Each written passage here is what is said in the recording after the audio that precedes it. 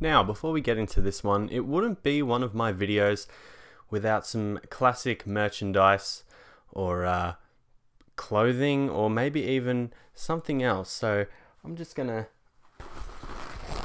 this this here is an original Benetton bag. I don't know how old this is, but like an absolute classic. Anyway, let's get into it. To tell you about today's video is none other than Scuderia Ferrari driver Carlos Sainz. What are we looking at today, Carlos? Benetton. Thank you, Carlos.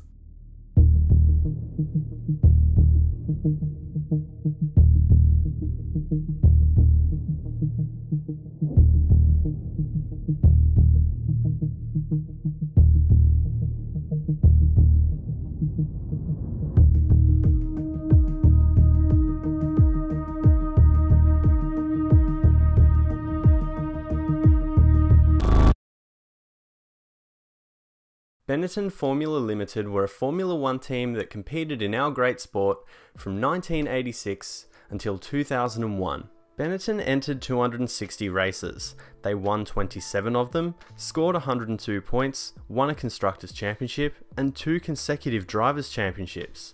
This was a mega team, with quite the resume. Now, I don't want to bore you in this video, so we're going to break it down into three parts. We're going to start with the early days. Then we're going to have a look at the team's rise and Schumacher's championships.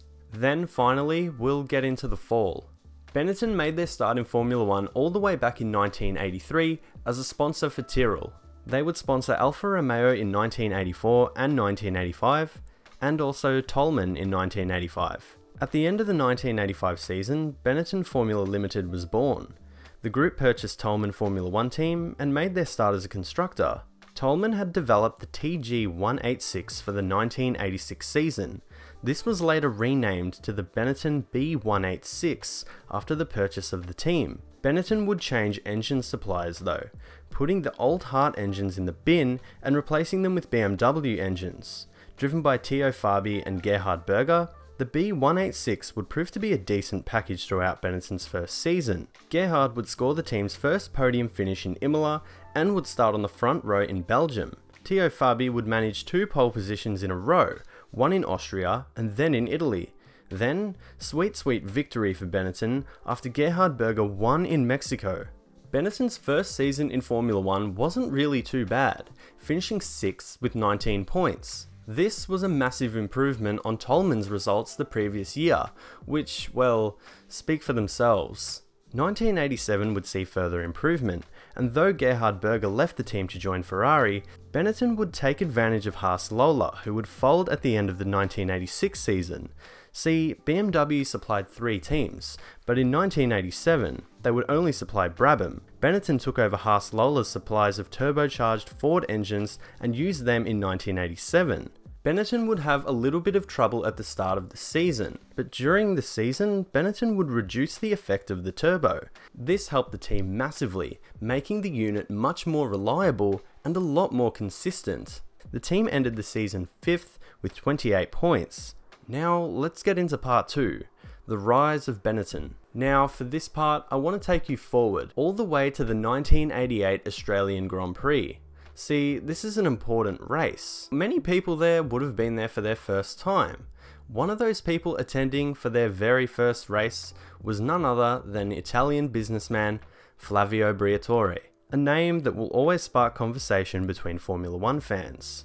Luciano Benetton approved Flavio as commercial director for the team, and in 1989, Flavio Briatore became the new Benetton Formula Limited team boss. At this point, it's a little bit strange to think that someone with no racing experience or general interest in the sport at all can become the boss of a Formula One team. But the decision to promote Flavio proved to be absolutely huge for the future of Benetton, as we'll soon find out. Flavio had a goal, and that was to make Benetton into a competitive team. Mastermind and legend Ross Brawn would also return to Formula One as Benetton's technical director.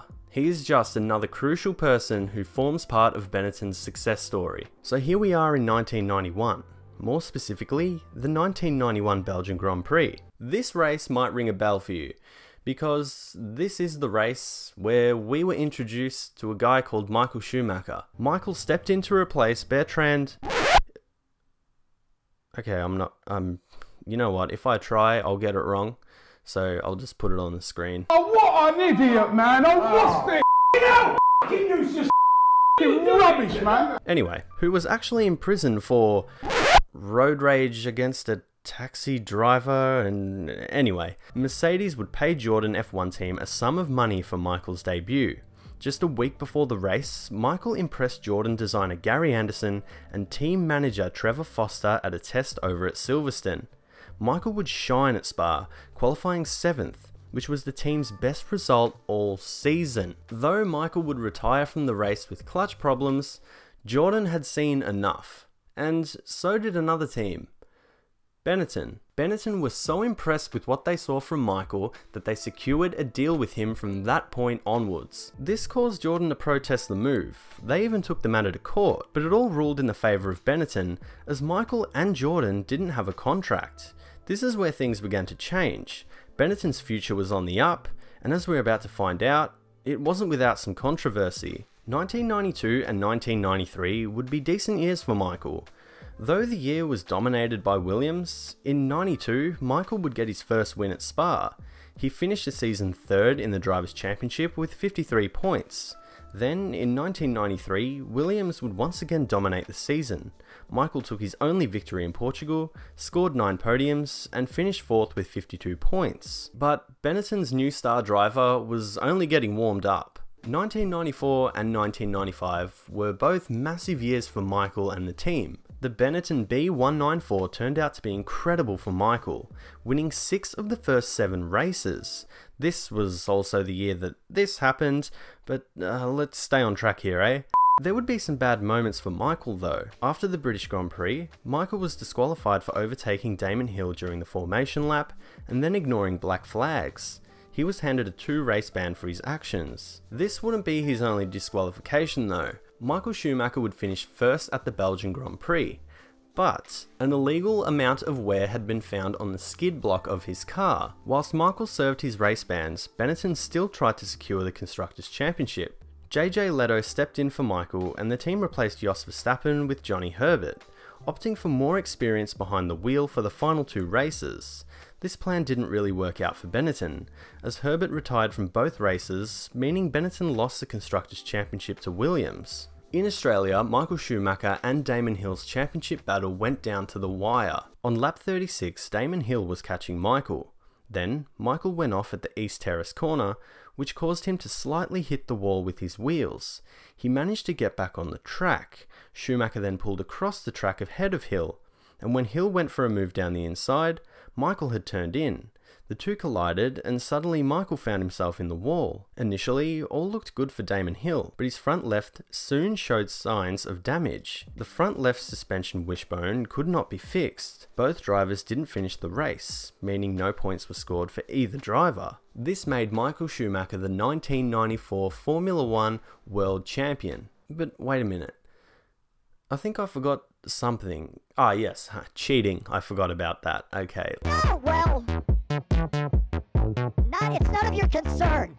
So this gets pretty deep, and there is no possible way I can explain this in under 10 minutes, okay? So if you want to know the full story about this crazy controversy from 1994, I suggest you look at Aidan Millward's video. He covers it incredibly well. I'll link that in the description below because there's so much to it. Basically, the FIA discovered something a little bit suspicious. A quote, start sequence or launch control software in the Benetton B194. But as I said, it gets deep. Like, also there's some fuel valves without fuel filters. But anyway, let's let's let's just keep going, okay? In 1995, Benetton would switch to Renault V10 engines. Johnny Herbert was set to partner world champ Michael Schumacher for the season. Early on, Michael had some issues with the car, admitting that it was hard to control.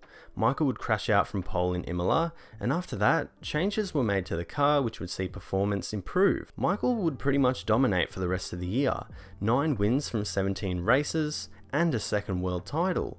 Johnny Herbert would score a podium in Spain and win the British and Italian Grand Prix. Benetton would win the Constructors' Championship in that year of 1995. Now, let's get into part 3 the beginning of the end and the real fall of Benetton. The 1996 season would be the beginning of the end for Benetton. A team at such height were about to begin their fall. In 1996, Michael Schumacher departed from the team early despite being contracted. Michael joined Ferrari for the 1996 season after two championships with Benetton.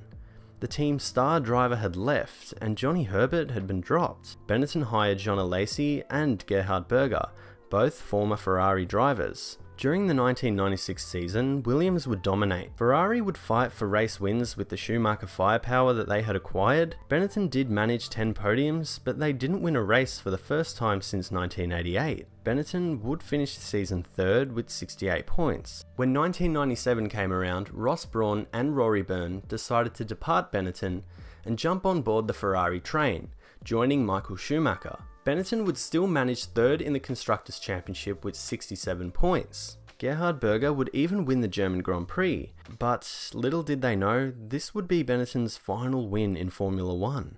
1998 would see more change.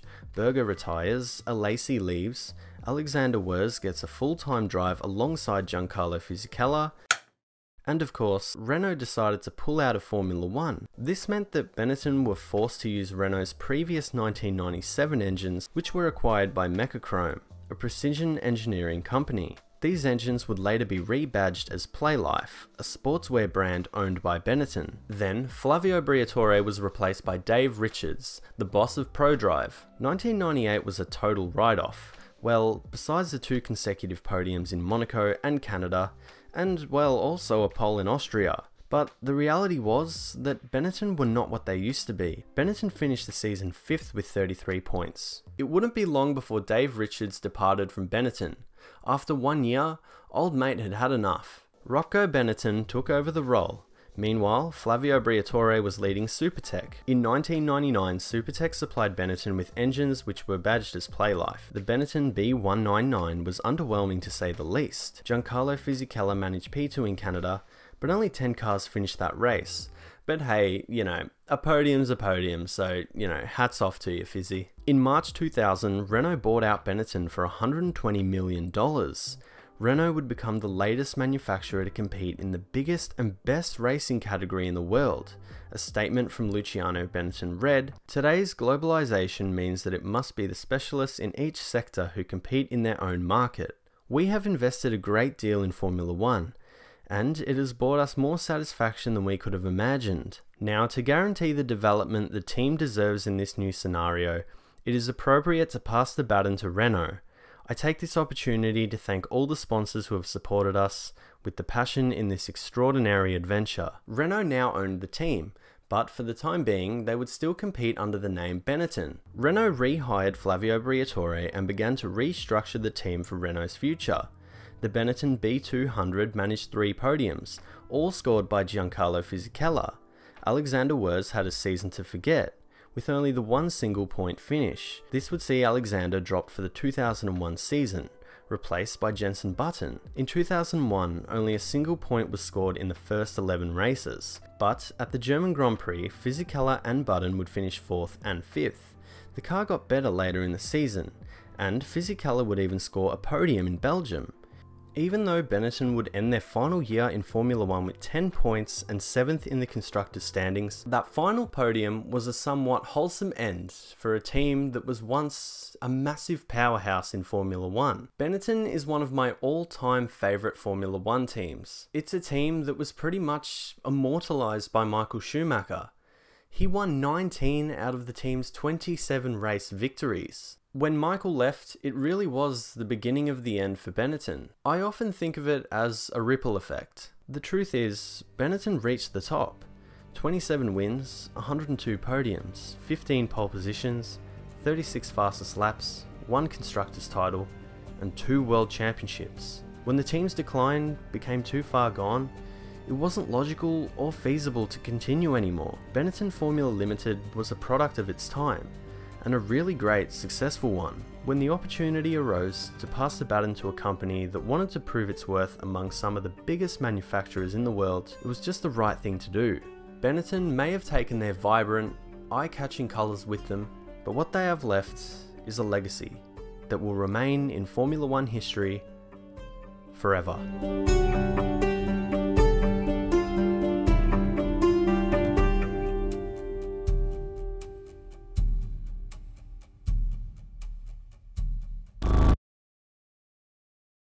Alright, thank you all so much for watching this video. This was highly requested by a lot of you, so I finally got around to doing it. This is one of my favourite teams of all time. Just so much history, such a cool team, like I just I just love Benetton, so this was really enjoyable to make. Um, if you enjoyed it, make sure that you subscribe and hit the notification bell because YouTube has been playing some games with my channel lately and not many people have been getting uh, notifications or seeing my post show up, which is weird. I've been getting a lot of messages from you guys, but main thing is, is that I'm having fun. We're all having fun. That's what it's all about. Thank you for watching. I'll see you next time.